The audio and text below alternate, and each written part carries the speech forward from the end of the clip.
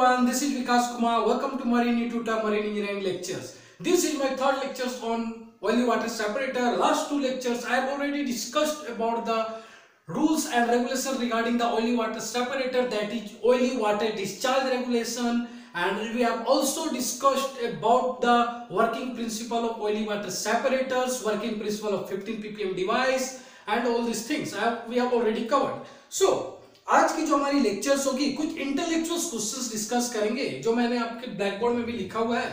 आप देख सकते हो आप first question is maintenance required in oily water separator सब maintenance is required in oily water separator what's are what are those maintenance we are going to discuss question is, why siphon breaker is provided at the discharge side of OWS so, there is a siphon breaker arrangement at the discharge side of OWS so, why this arrangement is so?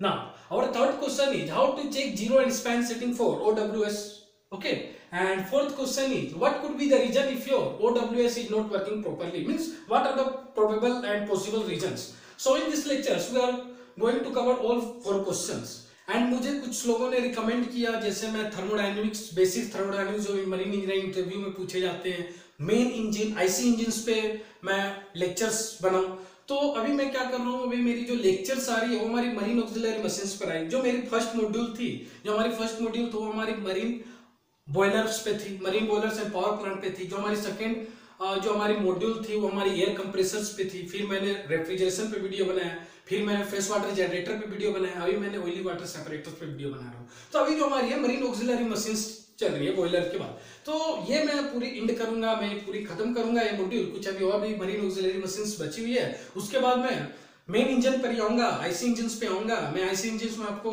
जितने all possible questions होते हैं interview questions और जितने concepts होते हैं जो interviews में पूछे जाते हैं जो यूनिवर्सिटी से पूछे जाते हैं और सम एक्सटेंट जो हमारी एमएमडी ओरल से पूछे जाते हैं मैं सारे क्वेश्चंस कवर करूँगा। सो so, इसलिए जो हमारी अपकमिंग टॉपिक्स होगी वो हमारी इन्हीं टॉपिक्स पे होगी और जो हमारी ओली वाटर सेपरेटर्स के बाद जो हमारी टॉपिक होगी वो हमारी प्यूरीफायर होगी। फिर मैं पंप्स कवर करूँगा फिर मैं स्टेयरिंग गियर कवर करूँगा कुछ कुछ टॉपिक्स मैं कवर करूँगा। उसके बाद मैं थर्मोडायनेमिक्स एंड आईसी इंजन पर आऊँगा। एंड आफ्टर दैट मैं मरीन इलेक्ट्रिकल टेक्नोलॉजी पर आऊँगा। तो ये मैं, मैंने आपको फ़र्स्ट लेक्चर्स में बताया था। तो आज की हम लेक्चर्स स्टार्ट करते हैं okay so what are the maintenance required in the oily water separators First of all, there are no such specific maintenance required on the oily water separators. Why? Because the moving parts in this machinery are very less. So if the moving parts in this machinery are very less, so less wear and tear.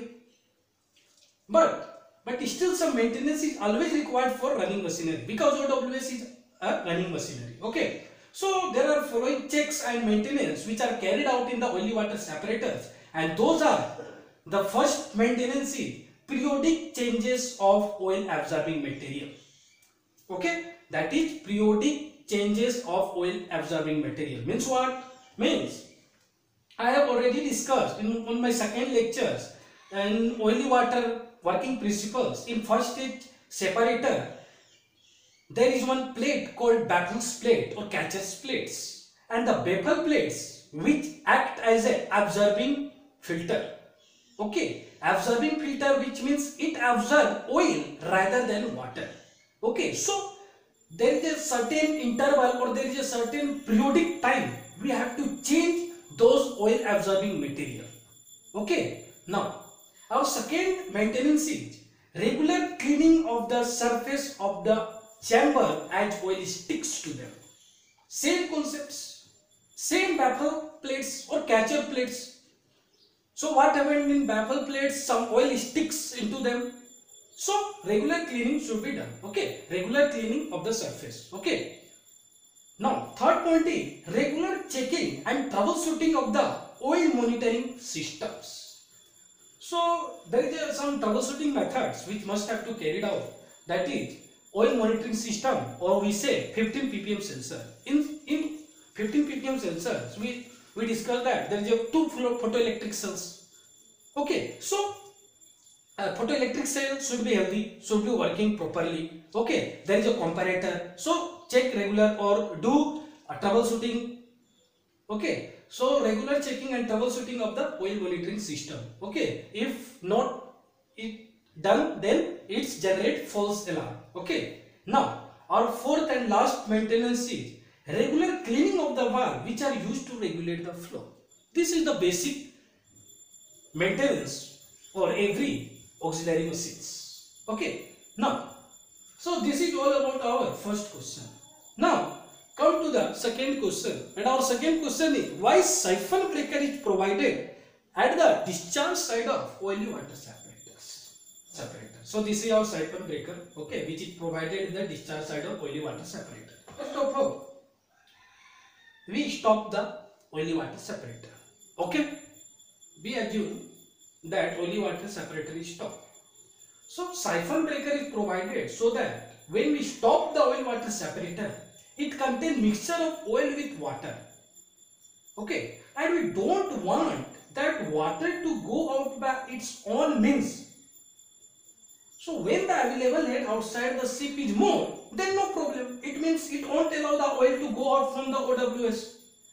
Go out from the OWS. But if in case outside head is low, okay, means outside head is low, then oily water from the OWS go out and pollute the environment. There is a pressure difference created between these two, no? If the outside head is low and inside head is more, means uh, in stopping condition, oily water separator which contains some mixtures of oil and water, which is inside. Okay, if inside head is high as compared to outside head, so means uh, head refers to a pressure only. Means if inside pressure is high than outside pressure, then what happened? Means the, whatever the inside pressure which contains some oil and water which go out go out to the outside and which pollute the environment. Okay. So that was the reason we use siphon breaker which won't allow this condition to take place for bed. Okay. So this is why, this is the reason only siphon breaker is provided at the discharge side of oily water separator. Now, move to some third question. And our third question is how to check zero and span setting for OWS. Okay. So, so to check the span setting, we have to pass a special liquid whose ppm is known to you. Okay, whose ppm is known to you. Suppose, suppose to check zero setting, just pass the fresh distilled water through the sensor.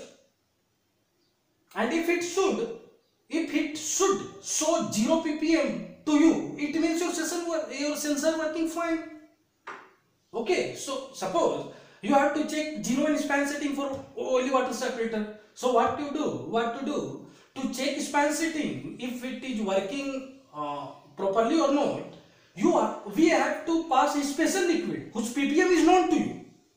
Okay and your detector need to show you the same reading like if you pass 15 ppm liquid through the sensor so it should show you 15 ppm at the monitor. So this was the span setting okay so the purpose of span setting is to ensure the input and output of an instrument correspond to one another okay predictably throughout the entire range of operations. Okay so in simple language how to check zero and span setting for ows to check the zero setting just pass the liquid which ppm is known to you.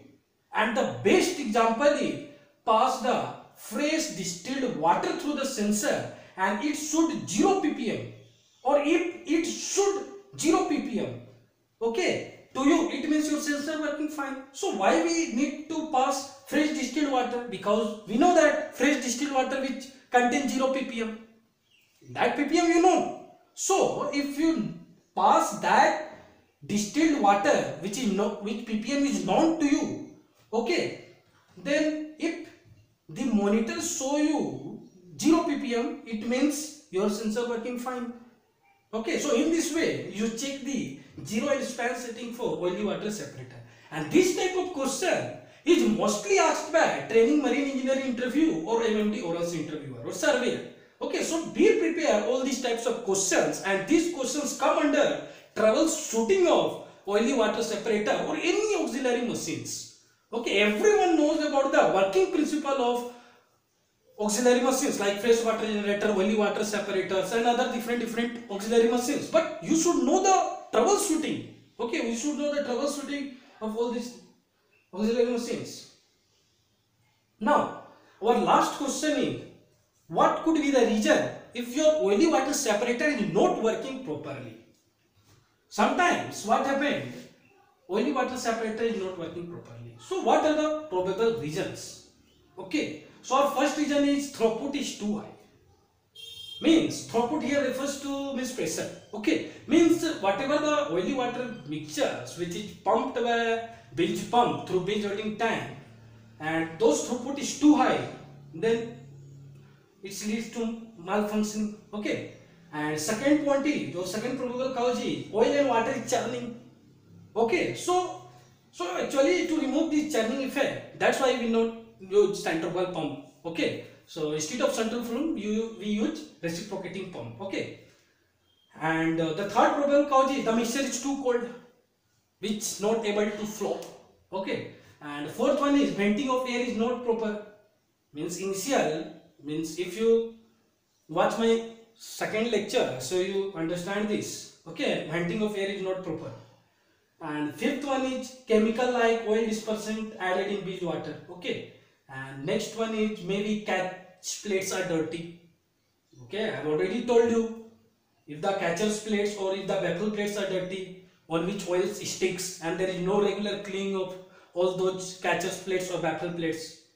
So which leads to uh, decrease the efficiency. Okay. So in this way also ows is not working properly. And coalescers filters are dirty okay.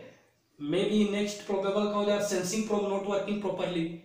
There is a sensing probe no? The, uh, that called capacitance probe. So if capacitance probe not working properly and if and this eight point is related to our fourth point that is venting of air is not proper. If venting of air is not proper then what happened? Some air is present inside the separators so if air is present inside the separator, second lecture, I have already told you why we need to venting the air because the capacitance of air is nearly equal to the capacitance of oil.